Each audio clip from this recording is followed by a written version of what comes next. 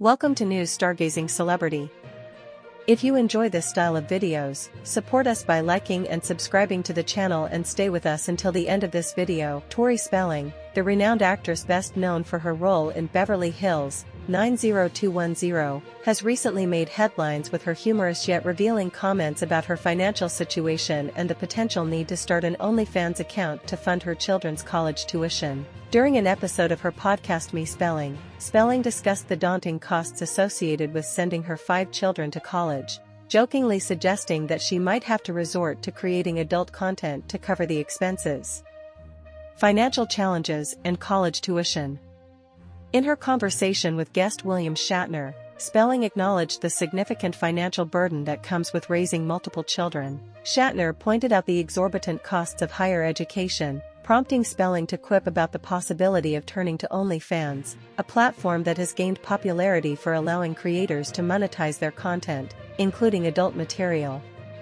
Spelling's children, Liam, 17, Stella, 16, Hattie, 12, Finn, 11, and Beau, 7, are all at varying stages of their education, and the prospect of funding their college tuition is a pressing concern for the actress. She humorously remarked, I'm gonna have to go on OnlyFans in order to get them into college, highlighting the financial realities many parents face today.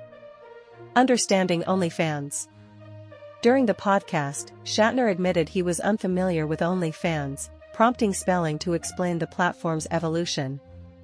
Initially associated primarily with adult content, OnlyFans has diversified over the years, now featuring a wide range of creators, including comedians, chefs, and fitness trainers. Spelling noted that while many actresses use the platform to share more revealing content, it also serves as a space for various types of creators to monetize their work.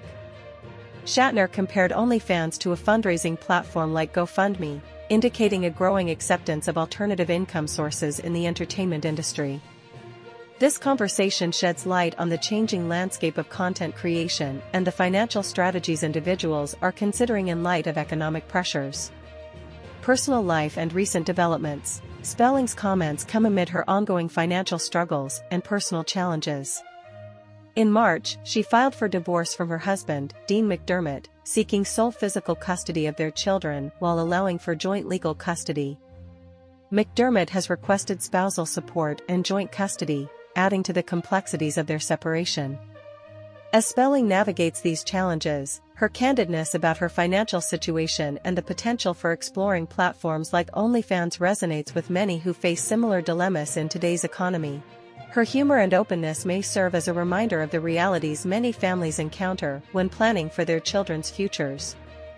Conclusion Tori Spelling's light-hearted remarks about starting an OnlyFans account reflect broader societal conversations about financial pressures, parenting, and the evolving nature of content creation.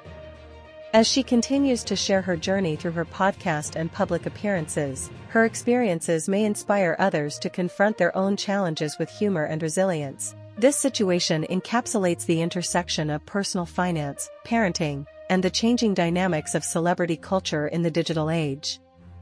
Thanks for watching the video. Please share your opinion.